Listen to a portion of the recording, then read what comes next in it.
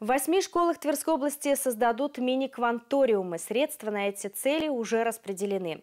Межбюджетные трансферты на предоставление финансовой поддержки лучшим школам Тверской области на 2019 год в рамках реализации национального проекта образования.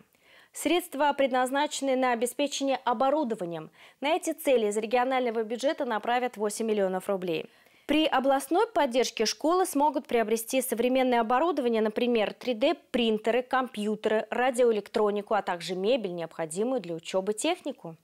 Пошли и городские школы, и сельские школы. Это возможность получить дополнительные средства на улучшение материально-технического состояния, на оборудование. И дальше э, эти школы будут модернизированы для таких в целях базовых центров развития новых, э, новых знаний и навыков у наших ребятишек.